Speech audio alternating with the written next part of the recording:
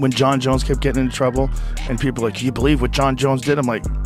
Jon Jones is a wild motherfucker. That's why he's the greatest of all time. Like Yep. you, you need an element of psycho You have there. to be fucked up.